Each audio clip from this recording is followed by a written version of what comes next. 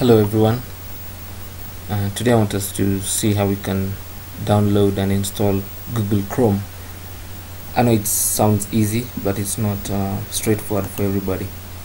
So the first thing you do is just go to google.com as you can see I'm already signed into my account. And uh, simply search for Google Chrome. So from the results. You can see go to the Google Chrome uh, extension. So this is where you click to download Google Chrome.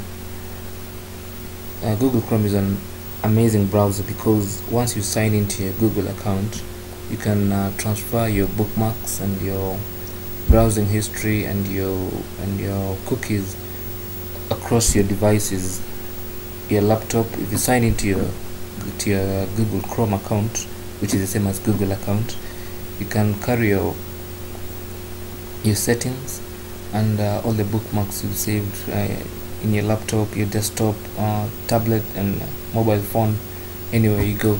So it, download Google Chrome uh, accept the terms and services make sure you read everything. Uh, a lot of people don't read this stuff. So make sure you, you read all the you read all this it's a terms and conditions or terms of service.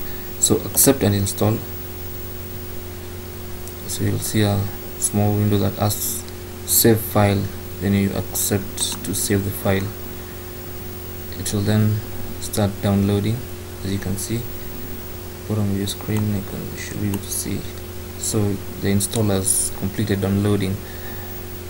So just go to uh, go to downloads. This is where you go to tools Firefox you go to downloads then you go to Google Chrome setup and open.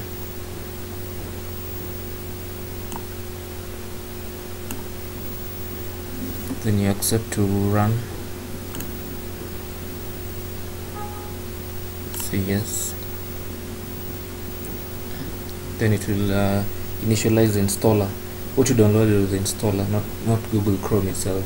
You download the installer. So this installer will help you download and install from source. That means that uh, it uh, installs the browser straight from from the Google uh, servers. So we wait as it downloads as you can see it's uh, still downloading.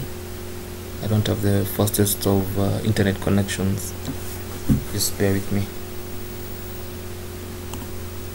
So we're getting closer and closer. So let's keep waiting. A few seconds to go